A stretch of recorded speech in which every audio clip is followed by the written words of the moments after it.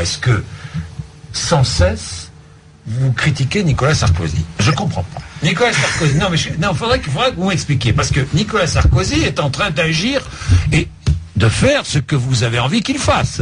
Il expulse des imams, il arrête euh, des, euh, oh, des militants euh, intégristes islamistes.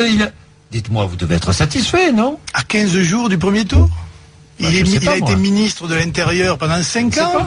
Il est président de la République et il s'aperçoit qu'il y a un problème parce que après l'affaire Mera, Marine Le Pen a dit qu'il minimisait le risque fondamentaliste. Or, il existe ce risque fondamentaliste. La preuve. Alors il prend les mesures qu'il faut, non?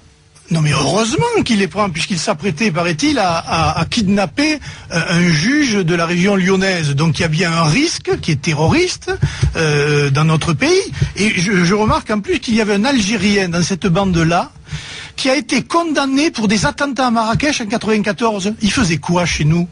Non seulement on est obligé de recevoir toute la misère du monde, mais en plus, si je puis dire, on se tape la racaille de tous les autres pays.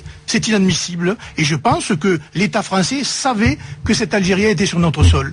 Comment l'État français savait? Le gouvernement savait.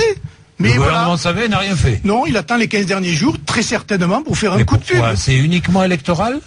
Le coup de filet, je Oui. pense que c'est à la fois un danger, mais c'est aussi une affaire électorale désormais. Quand M. Mais- Guéant dit qu'il n'exploite pas, il exploite tous les jours ce filon de l'insécurité de l'islamisme parce qu'il pense, parce qu'il pense qu'il va capter un électorat qui aujourd'hui. dans les sondages, semble-t-il, il capte cet Non, mais électorat. Monsieur Bourdin, ne regardez pas les sondages. Non, voilà. Il y en a un aujourd'hui qui donne Marine Le Pen à moins 2 le même jour et un Oui. à plus 2. Voilà. Quel Oui. crédit accorder à ces sondages-là?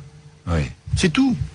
N'y accordez aucun crédit, vous ne les regardez pas. Euh, Vous J'ai l'impression que plus nous avançons vers l'élection et, et moins ils veulent dire quelque chose. Euh, euh, Est-ce qu'elle est sous-cotée, Marine Le Pen? Oui, je crois. Elle est sous-cotée, mais pourquoi? Parce que quand on, se- quand on va dans les départements, sur le terrain, lors des meetings, on voit bien qu'il y a du monde, une affluence. Sur le terrain, on voit qu'il y a une vraie colère des gens contre le système en place et que Marine apparaît comme un recours, une alternative crédible. Voilà pourquoi.